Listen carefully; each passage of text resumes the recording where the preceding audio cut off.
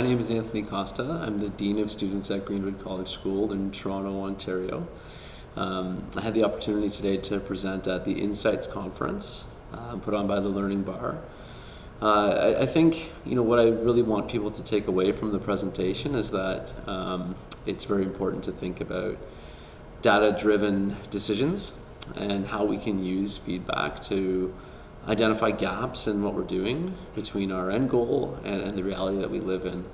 You know, um, throughout the presentation, I, I, really hope to, to show one way that, that our school was doing that um, through the identification of, of a discrepancy between how students uh, identify with their own culture. You know, so um, if there's anything that, that a take-home message I'd like to present, it's that. You know, please uh, use what works best for you. This is one way to look at the data, not the way. And, uh, and I hope that there's something you can take away from it that's useful for you. Thank you. In essence, what we're talking about here, you know, when we do get that feedback, um, I've put it on the screen here, like, like, so what, right? What, what are we doing with it? What's next? And, and another way to frame that for me and something that I think about quite often with the people I work with is, is what is our vision? You know, what, what is it that we want to be doing? Where are we going? Um, and what's that ideal uh, place we want to get to? You know, so if we think about that vision, and I challenge you now to think about your own vision and whatever work it is you're doing, you know, um, think about that and then think about the reality. you know, so when I think about the vision of where we want to go, um, I'll talk about this a little bit for a little bit down the road here, but um, in essence, to this particular indicator, we're looking at creating culturally competent individuals who graduate from Greenwood and they go out into the world and they have a set of skills that, that they're able to be empathetic and, and work with people of a varying range of experiences and appreciate. You know, when I think about the reality, um, we're not there yet, right? And somewhere between those two are the gaps. You know, and and we love gaps. You know, gaps are where we grow, and that's what this feedback does for us. You know, it it points out those gaps, right? So. Um, it offers this opportunity to, to delve in a little bit deeper. And I hope today uh, I, I, can, I can show you one example of way that we've, we've engaged with the feedback from the OurSCHOOL survey. What you see in front of you here is, is data that we collected in, in December 2021, and it says 2022 there because that's when we started to engage with it in January 2022.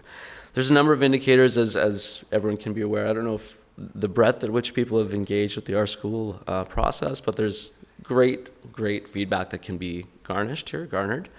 Um, and the one that we're looking at today is, is cultural awareness, both the cultural awareness of our students that within their own culture, and then cultural awareness of, of others. Here's the actual data that we received in uh, December 2021. And if you're like me, you kind of notice a big discrepancy here. So if, if you look on the, the top right there, the culture, cultural awareness of our students within their own culture, they're identifying that, uh, and I should qualify what this means. So it means students who have an understanding of the belief, attitudes, and behaviors of their own cultures. Only 49% of our students indicate that they have an understanding of that, right? And that's quite low.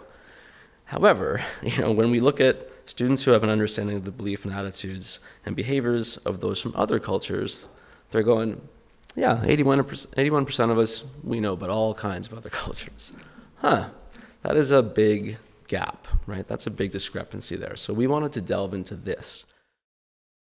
What was observed with this data, right? And, and when I say what did we consider, this is a small group of uh, advisors and our director, uh, our director of equity, inclusion, and outreach, and myself. We're looking at some things, and we tried to identify, right? So the first thing I've already mentioned there's a large discrepancy between the perceptions, uh, understanding of other cultures when compared to their own culture. Okay? We asked a couple questions after this. Why is this occurring? You know, so what we did do was we started to brainstorm. You know, do our students actually see their identified culture represented in the work that we're doing in terms of diversity, equity, and inclusion? And this is challenging too for us. For uh, I'll get into this later. Challenging, but uh, I don't want to get ahead of myself. and then the other question is, uh, do our students recognize when work is done that actually does relate to their culture?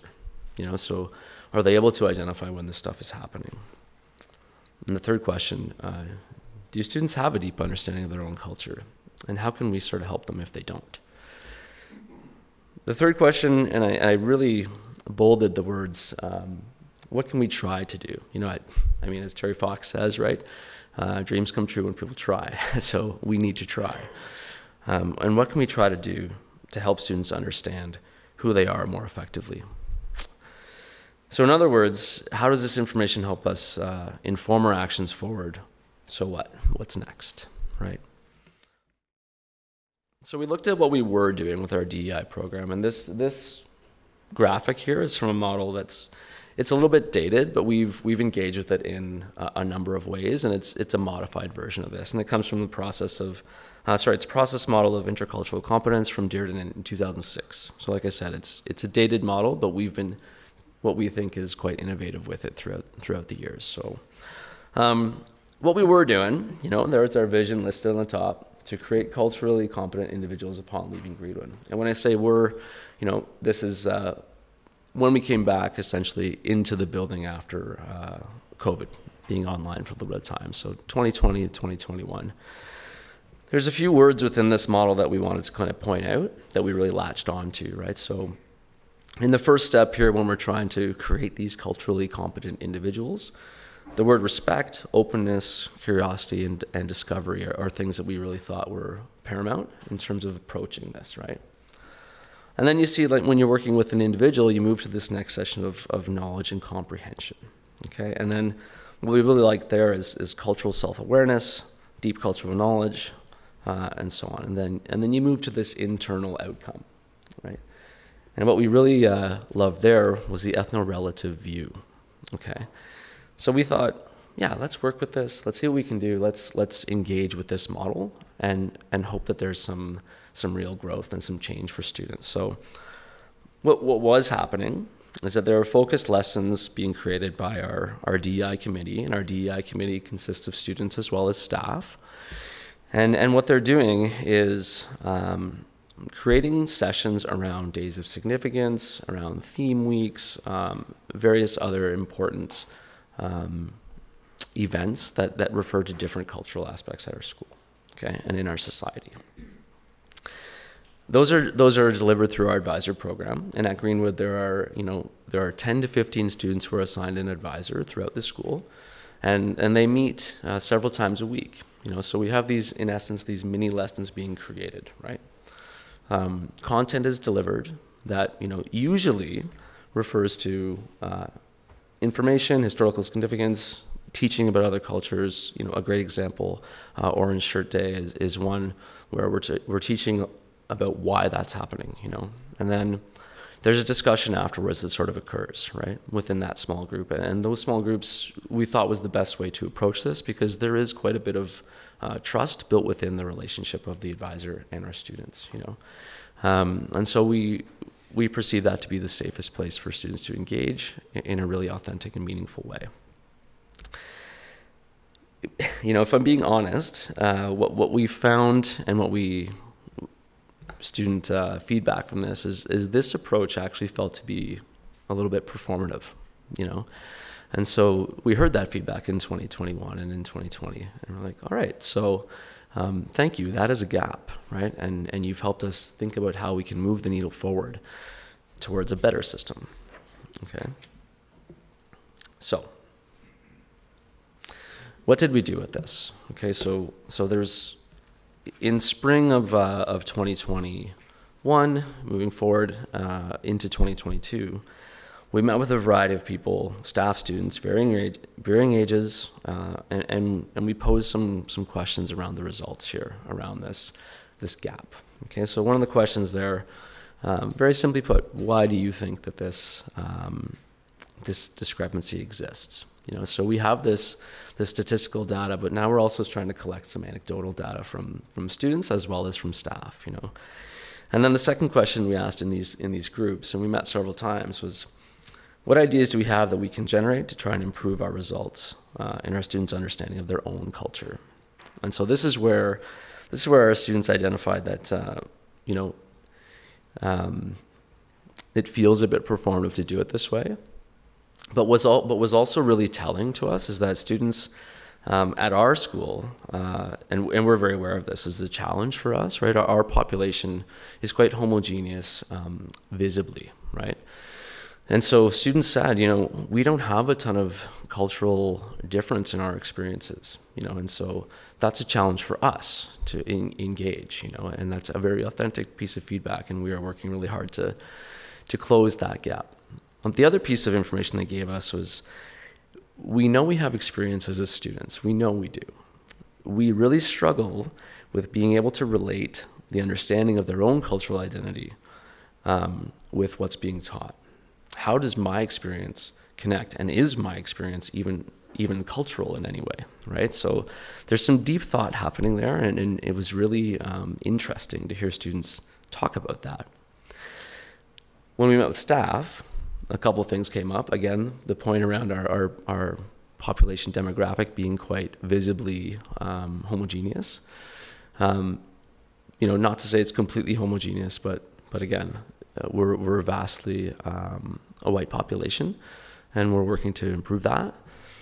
But what what staff also uh, indi- indicated to us was that they don't necessarily always feel qualified or, or knowledgeable enough to approach different cultural aspects, different cultural situations that occur um, in real time. You know, they're not necessarily equipped to manage the questions that come forward, right? And that's a challenge too, and that's a gap that we can work on. Um, so, where did we go? Looking back to our model, you know, we, we did some, uh, some reflective work and we thought about this again. And, and essentially, what we thought was okay, you know, this, is, this was our answer to question two and three from the previous slide. And question two, in essence, was, you know, what's occurring at our school? And question three was, what can we try to do to help it, help fix this, or like move the needle towards like a better solution? So when we looked at this model that we've been sort of creative with, we, we really latched onto the ethno-relative view and the empathy piece. Okay, so you know what we did essentially moving in towards this year and the end of last year was we switched these two steps. Okay, so the internal outcome was a way that we started to frame the lessons.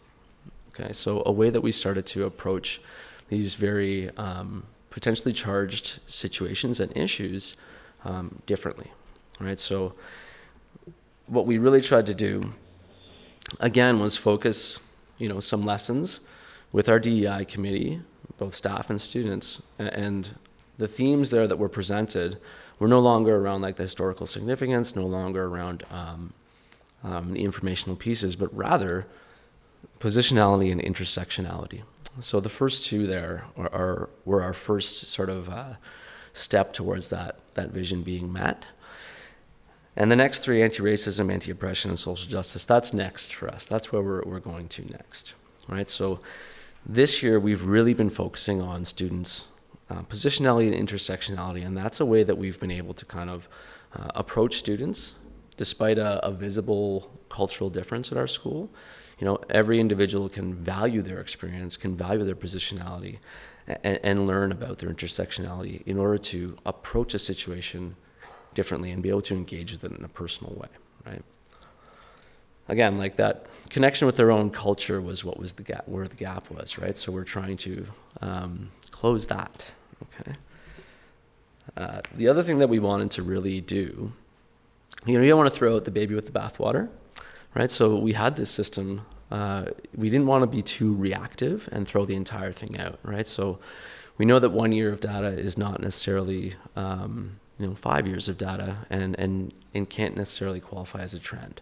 So we wanted to make a, a, bit of a nudge here in in a direction that we could continue to try to work within the system that we're using, but also um, shift it. Okay. So what does this look like at Greenwood this year? All right. So like we said, there's it's still running through the same sort of system, right? With our advisors. Um, we have these lessons, this approach, um, and the lessons very much work on that positionality intersectionality piece, right? So, the small group leader, teacher-led discussions, collaborative mini lessons are are created, uh, comprised of staff and students. We did hear staff, right? So staff did say, we don't necessarily feel comfortable, not everyone. So what we've done is we've partnered staff. You know, so now in these sessions there are two staff in each one, and there are, there's a, a level that they've indicated um, of at least somewhat expertise, right? So, you know, we talk about this often. You know, the way that um, as I mentioned earlier, Rachel Brownell Swain, the way that she would present one of these these mini lessons is very different than one of our grade seven math teachers, you know, who is a first year teacher, right?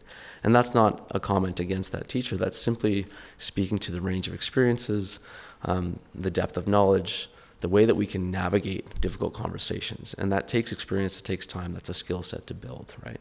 So by partnering partnering uh, a staff who who believes that they have some some knowledge and some some savvy in this uh, in this form, we're helping to train our staff to feel more comfortable in these situations too, and be able to address situations in the moment when they come up, which is really important to do.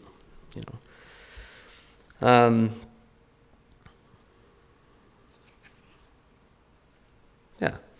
So again, I, I just wanted to point out too, like the, the definitions here of positionality as well as intersectionality, they're listed there just in case people were not necessarily aware of what those were. And then our goal, again, to, through this method, we're trying to have students understand what they bring from their own past experiences, their culture, their set of beliefs into the learning environment in the hopes of, of developing that cultural competence. Okay. Here we are this year the cultural awareness of others, as you can see in the top there, was 81 last year, 79 this year, so very similar, right? But but I still wanted to point out that I that I do believe this is a this is a success for us. You know, there's at least some acknowledgement from students that oh my gosh, I don't actually know as much about other cultures as I believed that I did, right?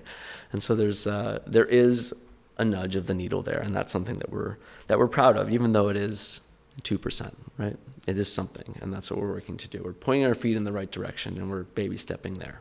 Okay.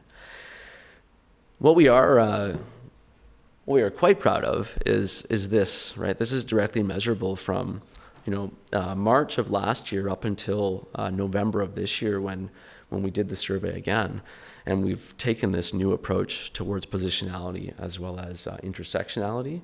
There's been a nine percent increase in students understanding their own culture right? And and and that is significant, you know. And I'm very aware, you know, there are cofactors that that go into this. Um, but I but I have to say I think that this is this is success, success for us, and I think I think that the way that we have engaged with our programming has helped with that, right? So this is just a snapshot of of of all of our grades here.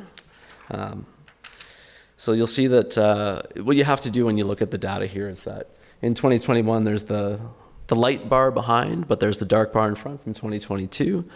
Um, so you kind of have to compare, you know, the, the grade nines from 2022 and the grade eight uh, from 2021, right? So you'll see that almost every grade has increased, with the exception of two.